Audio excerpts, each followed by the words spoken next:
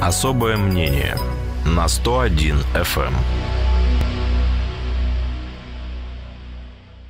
13.06 в Кирове. Программа «Особое мнение» в эфире. Я Анна Лапшина. Приветствую слушателей. Говорю здравствуйте гостю нашей студии. Сегодня это Дмитрий Сергеев, эксперт регионального штаба Общероссийского народного фронта, депутат Законодательного собрания Кировской области и генеральный директор строительной фирмы «Маяковская». Дмитрий Валерьевич, здравствуйте. Добрый день. Ну, э, я предлагаю все-таки начать с темы ТБО, потому что, несмотря на то, что мы об этой теме говорим, там, начиная с э, фактически э, Нового года, да, то есть уже больше месяца мы говорим, ситуация не сказать, что выправляется. Вчера специально проехала мимо своей контейнерной площадки Тугалазина и Дерендяева. Площадка опять переполнена. Опять это вот красота в виде мешочков там и мусорной горы. И я, насколько понимаю, везде в городе такая картина время от времени появляется. До сих пор есть фотографии от домов, где мусор мусоропроводы, и возле подъездов лежат эти мусорные кучи. А, при этом нам а, власти областные обещали, что рекоператор наш, а, мусорный оператор Куприт, ситуация исправится в течение там, ну, чуть ли не нескольких дней после новогодних каникул. Ничего не меняется. Еще одна, как бы, вторая сторона да, вопроса, это история с перерасчетом который кировчанам а, в автоматическом порядке так и не сделали, несмотря на все э, возмущения там, да, и обещания. Я, насколько понимаю, Общероссийский народный фронт э, тоже выступал с предложением, причем к жителям города, да, прежде всего, активнее писать заявление о перерасчете. Так ли это? А, на самом деле все так. Единственное, что, наверное, мы эту проблему начали поднимать еще, наверное, с ноября месяца. Угу. То есть мы видели э, риски, которые возникнут э, при вывозе э, ТБО из города Кирова при смене перевозчика. Э, да, наши, скажем, опасения по э, контейнерным, э, которые находятся на придомовых территориях, на муниципальных площадках, они, может быть, сейчас некоторые отложились. Это, вот эта проблематика, да, то есть заключен договоры аренды, но причем он через два месяца заканчивается, и что будет дальше, это пока тоже непонятно. Это мы про сами мусорные баки говорим. Сами мусорные, угу. сами контейнеры. Которые тоже должны которые, были исчезнуть. Которые могли бы могли исчезнуть. Бы исчезнуть но вот да. то, что эту проблему, может быть, подняли пораньше, ее успели как-то, скажем, предупредить. А то, что последовало дальше, это уже видят все, и э, с этой проблематикой мы э, тоже э, занимались, и причем не только в городе Кирове, но и по Кировской области. Так вот, если в городе Кирове контракт на вывоз отходов уже заключен, то есть муниципалитеты, есть районы, где такого контракта просто нет. То есть э, там какие-то э, разовые контракты на короткий промежуток времени, но есть и такие, где вообще э, никто мусор не вывозит, потому что нет контракта. В таких районах, наверное, добиться перерасчета будет проще, потому что ну, все документально подтверждено. В городе Кирове добиться перерасчета, на мой взгляд, будет крайне сложно. Почему? Во-первых, на перерасчет для всех ни рекуператор, ни власти, скажем, публично не заявили, то есть такого Такого просто не будет. Да, можно добиться э, в индивидуальном порядке, написав заявление. Э, мы даже в своих соцсетях разместили, скажем, э, примерное... Ну, бланк такой. Бланк, да, да то есть что нужно заполнить для того, чтобы подать заявление для перерасчета. Но к этому заявлению нужно будет приложить доказательства то, что у вас на самом деле мусор не, пере, не вывозился. А, то есть не, невозможно просто Не просто заявление, но порядке. еще и доказать, что мусор не вывозился. То есть это фотографии с датами, может быть, видеосъемка. А, я думаю, что для большинства жителей города это будет крайне проблематично. Да, потому что никто же не фиксировал и это. И поэтому вот такие заявления, написав э, без, э, скажем, какой-то доказательной базы, мы просто получим с вами ответы, что не доказано, у нас все хорошо, у нас все вывозилось. Вот вам график, у нас там машина была. Да. Мы с этой ситуацией уже сталкивались, когда начиналась эта мусорная реформа. Да? То есть у нас тоже было такое, скажем, шквал обращений, когда не было мусорных площадок, когда машины не заходили. И вот э, пометуя ту компанию... Несколько я, лет назад это да, было. Да, я, я просто как бы провожу аналогию. То есть э, будет, наверное, все точно так же. Но тогда была история, смотрите, тогда была история, которая закончилась довольно быстро. То есть там в течение скольки-то э, дней была серьезная проблема во всем городе, а потом она решилась, и какие-то отдельные точки уже там, да, да жалобы то есть были поступали. пригороды, были э, деревни, которые находятся в черте города Кирова, где просто мусор месяцами не вывозился, там не было оборудованных контейнерных площадок, но и добиваться там даже перерасчета люди э, ходили месяцами, подключали к этому прокуратуру, э, то есть э, крайне сложно. Э, это процесс проходил, то есть э, добровольно никто не перерасчитывал. То есть и здесь будет, на мой взгляд, то же самое. А что делать? Все равно писать, все равно обращаться, а, все равно там, э, не знаю, через соцсети искать э, фотографии, где-то, может быть, ваша контейнерная площадка выкладывать, может, кто-то из соседей фотографировал, может быть, управляющая компания вам поможет, может, она фотографировала, может быть, она обращалась э, к операторам для того, чтобы вывезли мусор, да, то есть вот здесь нужно шевелиться самим, может быть, создать какие-то группы на своем доме, чтобы централизованно собрать эти доказательства, и потом уже каждый пишет заявление на перерасчет. Я писать заявление на перерасчет собираюсь. То есть э, там две-три фотографии э, управляющая компания, которая в нашем доме она делала, э, буду просить у них э, для того, чтобы ну, хотя бы показать, что меня это беспокоит, что э, не вывозя мусор, не оказывая мне услугу, можно спокойно жить, ну так нельзя. Но это у вас ответственная гражданская позиция жителей города. Далеко Я к этому не, призываю всех остальных. не все из-за там 50-100 рублей не готов, готовы этим заниматься. Здесь вопрос не в величине денежной компенсации, да, то есть здесь, э, здесь вопрос именно в самом принципе. Не оказывали услугу, вы за это не должны получать деньги. У меня просто вопрос. Вот мне кажется, что э, этот мусорный коллапс, как его окрестили журналисты, э, то словосочетание, от которого власти открещиваются, да, а, ну, это такая имиджевая история. Она очень больно, мне кажется, по имиджу властей ударила. Почему а, правительство области никак эту историю не комментирует? Мне-то кажется, что как раз с их стороны, как... Э, ну, скажем так, ведь у нас куприт в областной собственности, да, как у владельцев, собственно, вот этого предприятия должны быть предприняты какие-то шаги, если они заботятся о своем имидже. Ну, это в первую очередь, э, наверное, удар по имиджу власти. Да. Э, в Кирове, Кировской области, да, то есть э, то, что этот вопрос не решается, э, вернее, недостаточно интенсивно решается, то есть э, не так были приняты быстро меры, и он до сих пор еще не локализована вот эта проблема, она будет предметом разбирательства и на депутатских слушаниях, которые инициированы нашими коллегами по законодательному собранию. То есть нас, как избранников народа, этот вопрос тоже интересует, почему вы не приняли вовремя, почему вы это не предупредили, и почему вы, когда уже видели, не приняли вовремя мер. Так, а когда будут депутатские Значит, слушания? первое слушание уже, э, первое заседание уже было этой комиссии, то есть запрошены документы, и по мере поступления документов э, будем собираться снова и э, уже смотреть, что сделано, что не сделано. Соответственно, дальше будут обращения в адрес правительства Кировской области, найти все-таки виновных и сказать, кто, кто виноват. А депутаты задавали вопрос про перерасчет? Э, пока нет. То есть мы пока запросили документы. То есть в дальнейшем, э, я думаю, что когда у нас будет... В этом году у нас еще не было ни одной сессии, да, то есть мы с правительством еще даже не виделись. Э, я думаю, что это будет разбирательство и на профильной комиссии тоже. Мне это кажется просто, что вот сейчас, если этого не сделать, уже поздно будет потом. Потому что квитки-то же придут, люди оплатят их. Как они потом будут выцарапывать эти свои я не знаю, 100 рублей. Ну, у нас какого-то срока для подачи заявления или для пересчета нет. То есть э, факт того, что услуга не была оказана... Могут пересчитать и задним числом? Да. То есть, то есть тот, тот факт, что люди оплатят квиточки по полной стоимости, не значит, что они согласились Конечно, с этой суммой? это однозначно.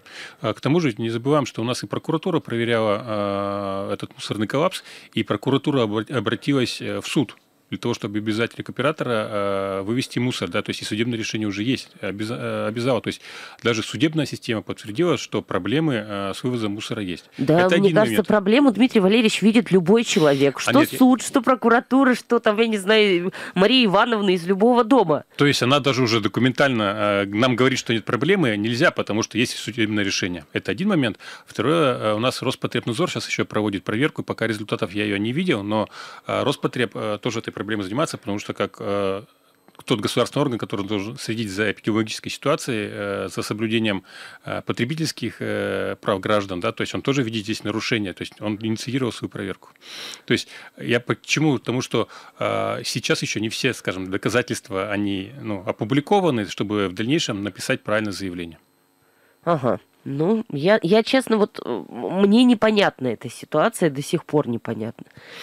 Я бы тоже, скажем, на месте рекуператора бы я бы публично признал, что да, были проблемы и э, сделал бы перерасчет. Но во всяком случае э, работа над ошибками будет какая-то проведена. Отрицание это значит, что проблемы нет, и это вызывает раздражение у нас у жителей города. А работа над ошибками, помимо перерасчета, на ваш взгляд, в чем должна заключаться? Это организация работы. То есть э, у нас э, рекуператор это все-таки коммерческая структура, пусть и не собственник государства, угу. но это коммерческая структура, которая должна организовать свою работу по вывозу и утилизации мусора. Вот эта работа на сегодняшний момент на должном уровне не организована. Кто не организовал, куприт, подрядчик. Вот меня, как жителя города, наверное, это интересует меньше всего. То есть мне важно, чтобы за ту услугу, за которую я плачу деньги, она оказывалась качественно, вовремя, и вот э, мусор по дворам э, не разлетался. Надо ли э, требовать чьей-то отставки? Как это происходит сейчас?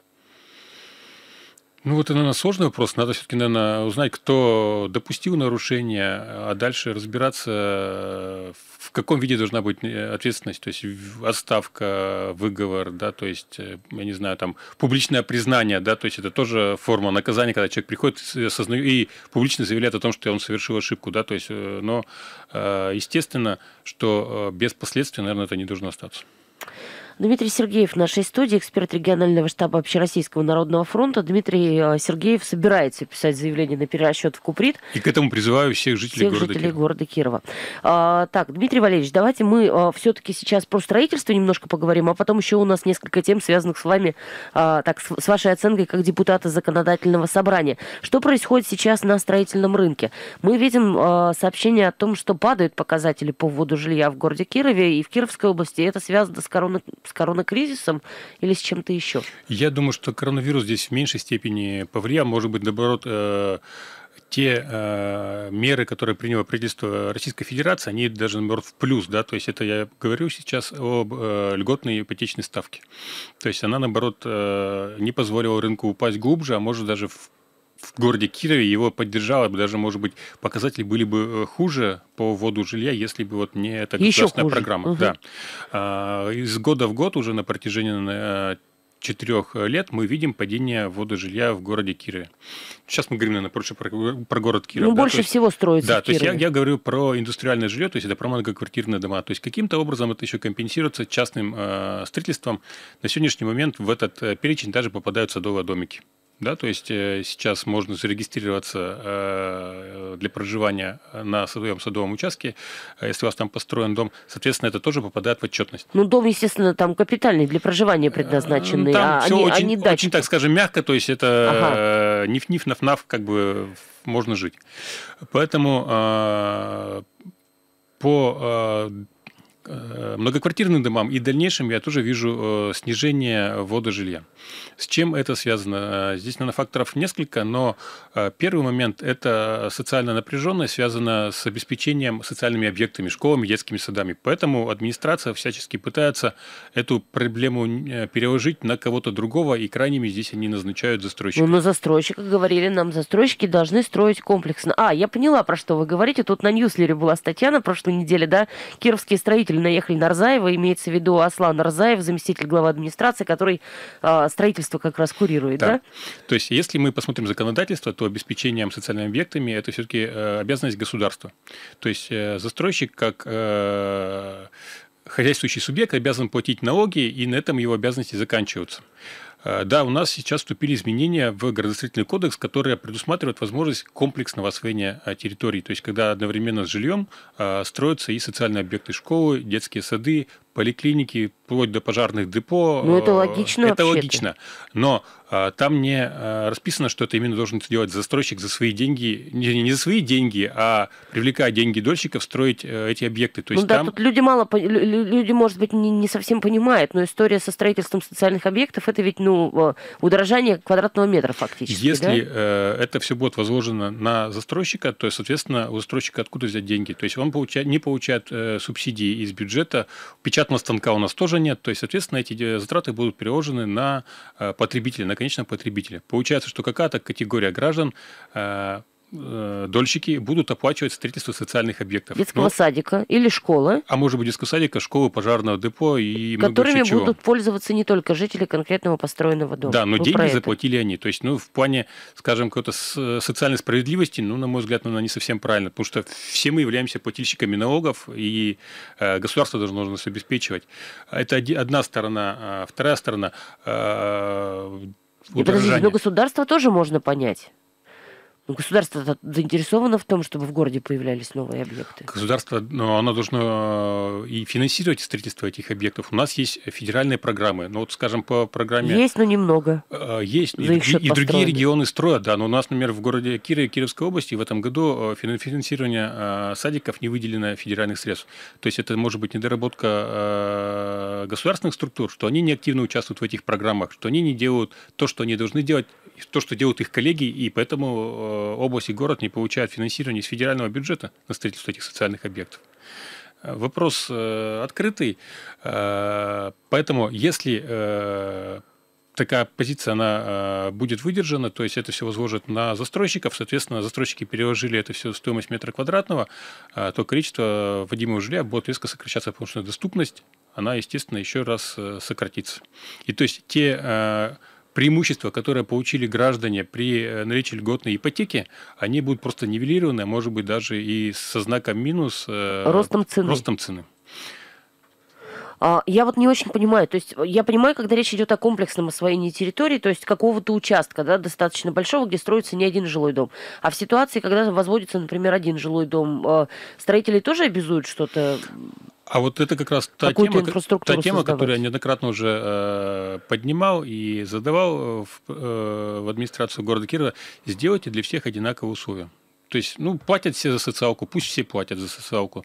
А у нас какой-то получается такой выборочный подход к этой теме, то есть кто-то будет платить, а кто-то не будет. То есть вот э, как раз, э, скажем, исключений из этой темы не должно быть. Что вы имеете в виду? То есть это мой подход. То есть э, если ты ставишь комплексно, значит э, ты платишь, да. То есть если ты осваиваешь какой-то там э, маленький, маленький ты, ты не платишь. Ну не должно такого быть. То есть должны быть все в одинаковых условиях. У нас рынок, то есть и рыночные условия должны быть одинаковые для всех. А в целом, что сейчас в Кирове происходит с участками под, под застройку? Участки-то есть, и я, насколько понимаю, они распределены между строительными фирмами. Ну, начнем с того, что муниципалитет, в принципе, участки под застройку не выделяет. Да? То есть вот у нас единственный э, крупный аукцион состоялся, это по Ганина. Единственный крупный. Да? То есть, э, соответственно, э, мелкие, средние организации, наверное, в нем участвовать не смогли, потому что ну, они просто физически не смогут такие объемы освоить. Э, поэтому опять же, какой-то выборочный подход получается, да, то есть э, те э, земельные участки, на которых сейчас строят э, строительные организации, они их искали сами, то есть они их выкупали из частной собственности в большинстве случаев, да, то есть либо это были э, выделения крупных земельных участков еще там очень-очень давно и... Э, то есть закрепленный за кем-то участок он? Э, да, выделение, угу. то есть, а в дальнейшем уже освоение этих земельных участков шло. То есть нового ничего в городе Кирове э, за последнее время, кроме одного участка, не появилось. А вот слушайте, я не знаю, сможете ли вы, конечно, это прокомментировать, может быть, нет. История с Квату. Мы на прошлой неделе увидели новость о том, что будет сноситься на территории Квату 20 зданий. Да, там сначала 9, потом, по-моему, все остальное. У нас Квату вообще есть ясность, что там будет строиться? Это все-таки жилой микрорайон будет или mm-hmm. это будет микрорайон, про который все говорили, образовательный кластер? Вы не знаете? Я не знаю. То есть у меня так. информации не больше, чем у вас. А, к сожалению, там какие-то э, такие, скажем, э, воззвания, то есть построить одно, второе, третье там были, но э, в какой-то, скажем, э, проект, э, предпроектное предложение, то есть это пока не лего, то есть официально никто не заявил, что там будет. То есть никому из строителей или там массово к строителям администрации города или администрации области не обращалась с предложением, что дайте нам вот ваше видение, да, того, как поступать с этим участком? Я думаю, что здесь, наверное, другого должно быть. Здесь, наверное, видение именно властей, что здесь должно быть, а потом уже к этому должны быть подключены коммерческие структуры, а не наоборот. То есть пока такого движения со стороны администрации города или области я не видел. Понятно. А, хорошо, спасибо. У нас остается до перерыва 7 а, минут. Я думаю, что мы начнем еще одну тему. Достаточно важная тоже тема. Это история, связанная с поправками а, в законодательство об административной ответственности. Насколько я понимаю, будет рассматриваться э, этот документ в ну, на, на ближайшей сессии, да, а, то есть это, если, опять же, я не ошибаюсь, по-моему, 18 февраля. Да или нет? Да. Да, 18 февраля вы собираетесь. Да. А, и там несколько важных вещей. А, это история, связанная с уборкой снега в городе. Это история, связанная с, ну, скажем так, с неправильным выбрасыванием отходов, да, с тем же мусором и складированием его. А, и, ну, ужесточается ответственность, в том числе для граждан. Ну, для граждан и юридических лиц. Угу. Здесь нужно начать с того, что вот эта э, комиссия, которая э, работала по выработке предложений для депутатов, а, она состояла из э, нескольких, скажем, интересантов. Да? То есть, конечно, это были депутаты, которые представляли в первую очередь интересы граждан. Это были муниципалитеты, потому что это все-таки областной закон, то есть не только на город Киров, но и на Кировскую область. Это были представители еще и там, Минюста, да, то есть которые прокуратуры, которые смотрели именно за соблюдением законности в этой сфере, и чтобы не было дублирования между федеральным и региональным законодательством. У нас сейчас в некоторых э, моментах возникает такое состояние, что есть э, запрет на что-то, да, то есть там э, на складирование снега, на выталкивание его на проезжую часть, а ответственности за это нет. Угу. То есть, да, ты нарушил, а что делать? А ничего, потому что не, не предусмотрена ответственность. То есть, вот э, в первую очередь закон, наверное, такие дыры э, закрывает. Э, то есть, э, вводит ответственность как для физических лиц граждан, так и для должностных лиц, э, так и для юридических лиц. То а есть... вы понимаете, как это будет работать вообще? Да, то есть э, понимание есть. То есть, в принципе, схема уже была отработана. Вот если на примере города Кирова выявляется такое нарушение, дальше виновное, выявляется виновное лицо, и оно приглашается на административную комиссию. Так. Административная комиссия это в составе нескольких человек. Сейчас они будут по-прежнему, сейчас они вернутся снова в территориальное управление, они будут принимать решения решение о виновности либо невиновности и о наказании в отношении кого? То есть, э, если это организация, то это может быть и должностное лицо привлечено, а может быть и сама организация. Естественно, а штрафы для физического лица, они в разы отличаются для должностного и еще в разы для а, юридического лица. Ну, то есть, вот физические лица 3-5 тысяч рублей, 10-50 а, это для должностных лиц, и от 50 до 200 для юридических. То есть, это отличаются в разы. Причем у э, комиссии еще есть э, такая возможность закрыть дело за незначительностью. То есть, если это какое-то незначительное правонарушение, да, человека привлекли, ну, скажем, э, на комиссию его вызвали, да, то есть его обратили внимание, что он нарушает закон, но э, какого-то финансового э, наказания он не понес, потому что его э, нарушение было малозначительным. То есть, вот такая возможность тоже есть. Так, это мы о чем говорим? То есть, если человек, это... вот если, давайте про снег, вот на конкретных примерах. Вот сейчас зима, да, тут у нас предыдущая неделя достаточно сложной была для автомобилистов. Вот у нас зима, поставил человек машину на обочину, да, машину э, за ночь завалили бортиком вот этим снега, когда чистили дороги. Человек приходит, он не понимает, куда ему этот бортик скинуть, а, собственно, ехать-то надо. Что он делает? Он берет его, раскапывает и рассредотачивает на проезжей части. Там дальше машины, едущие его колесами э, растаскивают, там, да, по всему городу. Вот этого человека ехал кто-то и увидел, например, да, с лопатой. А вот это вообще, это подпадает под действие этих поправок или нет? Ну, или это смешно просто? Э, о других Здесь речь, речь в нашей поправке идет речь о том, когда выталкиваются с прилегающей либо с частной территории на э, дороге общего пользования. Здесь же он все-таки с дороги, с дороги на, на дорогу, то есть э, здесь не считается. состава здесь не было, да, но, но во всяком случае какие-то такие вот малозначительные нарушения могут быть. То есть если, например, прибирается управляющая компания во дворе и с двора сгребла большую, значит, гору снега, эту гору выпихнула на дорогу в надежде на то, что будут вечером город убирать и его увезут, да? То вот это состав так. административного правонарушения. Здесь э, должен быть э, этот факт выявлен, и э, э, эта компания должна быть привлечена к ответственности. Могут какого-то конкретного, там, скажем, мастера или главного инженера привлечь к ответственности, а могут и само юридическое лицо, то есть управляющую компанию. Саму компанию. Да. Так, с мусором история точно такая же, с отходами? Да, то есть... То есть это организация стихийных свалок, да, я так понимаю? Да, то есть это складирование на необорудованных площадках. То есть, э, если вы идете и с пакетом выкинули в необорудованное место, то вас, как физическое лицо, тоже могут привлечь к ответственности. Э, может быть, это штраф, а может быть, это и не привлечение, но как факт какого-то, скажем, воздействия на вас, что со стороны э, государства приняты угу. меры, да, то есть, э, ну, может быть, и приостановление, э, вернее, за малозначительностью закрыто, но я думаю, что второй раз, наверное, уже туда человек не пойдет, не будет выкидывать. Ну, это такая больше воспитательная да. мера получается, да, да. Чем, чем э, такая именно штрафная. Но вот здесь у меня фраза сразу же в голове аж про, про то, что строгость э, законов российских э, искупается необязательностью их исполнения. Кто контролировать-то будет? Значит, муниципалитет. На, а если как это будет происходить? Как то есть у нас, э, если мы берем относительно города Кирова, угу. есть территориальное управление, где есть инспектора, которыми закреплена территория, которые обходят и выявляют такие факты нарушения. Они их э, видеофиксацию производят, составляются протоколы, да, то есть, а дальше уже выявляют, э, кто нарушил, и приглашают на комиссию. Ну, там возле каждой ведь мусорной, извините, пожалуйста, там свалки не поставишь камеру или человека, инспектора от теруправления. Ну, То есть это, такой- случай- это так- случайно получается. Такой цели нет, но у них, скажем, регулярные обходы территории есть, это один момент. А второй, у нас есть еще и обращение, когда сами люди э, фиксируют э, факты нарушения. Ну, нашими коллегами недавно выявлен, например, факт, когда на берег реки вывозили снег. Причем Ага. были фотофиксация тех машин, которые э, вывозили снег. Вот, пожалуйста, организация там э, стихийной свалки. Э, для того, чтобы привлечь собственников машин, либо те- организаторов этой свалки, нужны э, законы. Вот это, как бы, скажем, один из инструментов привлечения их к ответственности.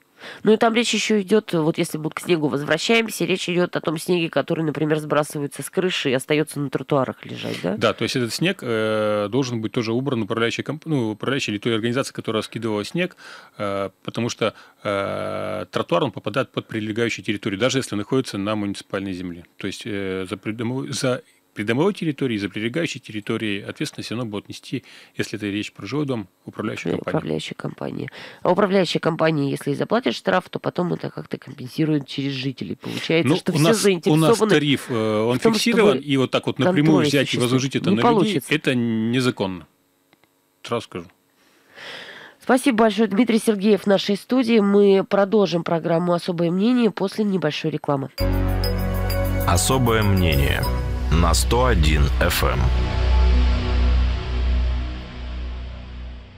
Продолжается особое мнение. У нас в студии Дмитрий Сергеев, эксперт регионального штаба Общероссийского народного фронта, депутат Законодательного собрания Кировской области и генеральный директор строительной фирмы «Маяковская». А, Еще про ЗАГС собрание и законопроекты. На 18 февраля, насколько я понимаю, запланированы несколько вопросов, а, в том числе а, рассмотрение внесенных двух законопроектов о выборах либо назначении мэра Кирова. Ну, напомню, да, слушателям Фабул очень коротко. Есть э, законопроект от оппозиции, что называется, о прямых всенародных выборах мэра города. И есть законопроект от «Единой России», э, который предполагает назначение главы города Кирова через конкурсную процедуру, как у нас сейчас выбирает глава администрации. Э, Вы больше склоняетесь в какую сторону? И вообще там готовы сейчас озвучивать свое мнение или нет?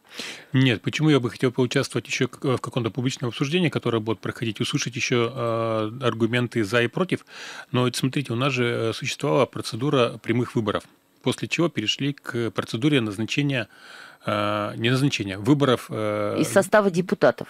э, голосования депутатов, да, Мгм. то есть уже, скажем, не все голосовали, а вначале голосовали за депутатов, потом депутаты выбирали Самого достойного. Самого достойного.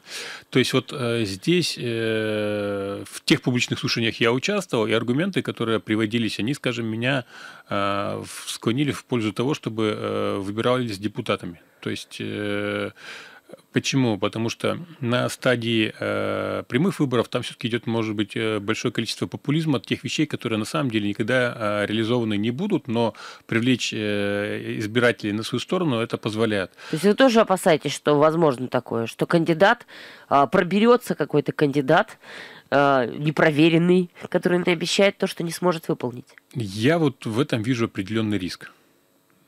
Так. Причем э, у нас ведь было уже ну, лет 10 назад противостояние, скажем, между губернатором и э, главой города, и ни к чему хорошего это точно не приводило. То есть здесь какая-то, э, не знаю, непреемственность, но последовательность действий между различными уровнями власти, она должна быть, да, то есть э, муниципалитет, область, а дальше уже э, федеральный, закон, федеральный уровень. То есть э, чтобы те решения, которые принимались, они выполнялись до доходили до человека, да, то есть они блокировались на муниципальном уровне. Поэтому вот пока мое мнение все-таки в пользу того, чтобы выбирали депутаты, но еще раз... вы предлагаете как есть оставить? Да, то есть я предлагаю оставить так, как есть. Но А, это а пока как еще не тогда, окончательное а решение. как мы тогда будем от двуглавия избав- избавляться? Там же и тот, и другой законопроект предполагает, как я понимаю, все-таки оставить кого-то одного во главе города, а не как у нас сейчас глава города и глава администрации. Ну, здесь речь, наверное, больше в названии, потому что глава города, он все-таки исполнительными органами не руководит, да, то есть он является для них работодателями, но а, управление городом он не осуществляет. То есть он, по сути дела, является председателем Кировской городской думы. Так, ну а как тогда быть-то, если депутаты из своего состава его избирают? Его же невозможно тогда главой администрации сделать или возможно? А глава администрации все-таки должен быть человек, который отбирают э, по контракту, и которого, опять же, за которого, опять же, голосуют депутаты. Ага. Так, все равно я, есть, зап... я запуталась, Дмитрий Валерьевич. То есть у нас две ветви власти, да, законодательная и исполнительная. Я понимаю. То есть у то каждой есть... ветви э, власти должен быть один человек. То есть то, что предлагается, это все как бы слить в, э, в, одну. в, одну, в одно место, да, то есть э, э, руководитель и городской думы, и исполнительных органов власти, вот в моем мнении, это не должен быть один человек. То есть это все равно должно быть два человека. А там и предполагается два человека. То есть там предполагается, что глава администрации просто будет называться главой города, да.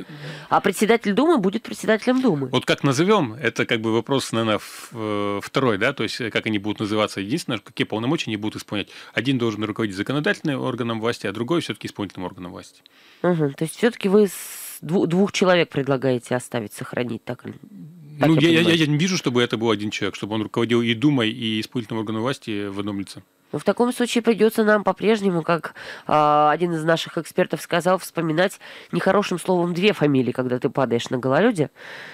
Единственное, что вот э, глава города, в моем ну, понимании, наверное, неправильно. То есть это все-таки руководитель городской думы. Хм. Ладно, хорошо. Но у нас и председатель законодательного собрания, да, то есть он же не глава Кировской области. Ну, верно. Вот, вот здесь, мне кажется, такая же аналогия. Здесь просто э, ну, в названиях, э, почему люди, скажем, главу города э, воспринимают как лицо ответственное за исполнительные именно органы власти. Так, подождите, а как же тогда его депутаты будут выбирать из своего состава или не будут выбирать из своего состава? Они будут выбирать председателя Думы, правильно? Да, Но председатель Думы не будет заниматься городскими вопросами, городским хозяйством. Он и сейчас, по, по сути дела, не занимается, потому что он все-таки руководитель законодательного органа власти. То есть а... городской думы. Да, городской думы представительного органа руководитель. Ну ладно, вы говорите, что будет еще обсуждение, общественные слушания этих двух законопроектов, если я верно понимаю, или нет? Я думаю, что публичное обсуждение все равно пройдет, да, то есть э, через средства массовой информации, через э, соцсети, через высказывания, вплоть до того, что там в прямом эфире э, вашей радиостанции в том числе, да, то есть вот услышать аргументы за и против и только после этого принимать решение. Хорошо. А, еще одна история связана с а, тем законопроектом, который уже принят. А, это история о сокращении в законодательном собрании следующих созывов, там, да, количество оплачиваемых э, ставок. Насколько я помню, вообще эта идея у Федора Сураева, вашего коллеги по Заксобранию, родилась после того, как было сказано, что мы сокращаем число депутатов Заксобрания, чтобы сэкономить деньги, да, до 40 человек с 54 нынешних. И он тогда сказал, что ну давайте тогда и ставки будем сокращать. Вы как к этому относитесь? Вы вот сейчас на должности председателя комитета, и комитет, когда вы его, а, когда вы на него приходили, эта ставка была освобожденной, то есть вы могли зарплату получать в Заксобрании. Вы от этой ставки отказались. Да. Потому что то есть я, я работаю там на... на общественных началах. Да, то есть я за зарплату в законодательном собрании не получаю. И как? Без зарплаты? И, и работаю. Ну, то есть все остальные тоже могут? Могут. То есть инициативу Федора Сураева вы поддерживаете? Э, я думаю, что надо принимать ее преждевременно, и депутаты как раз э, следующего созыва должны, наверное, определяться, кто им нужен э, на постоянной основе, а кто им нужен на освобожденной основе.